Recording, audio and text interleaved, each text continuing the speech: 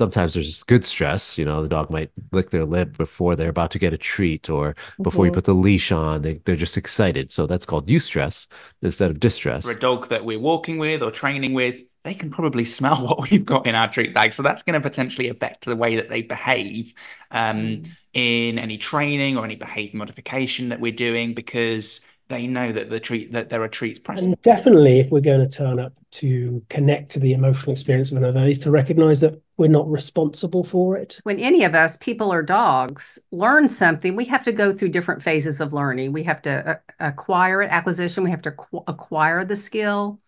We have to become fluent at it. So it's we, we do it enough so that we're um, fluent. They're not understanding what I'm asking of them because I don't understand them. Yeah.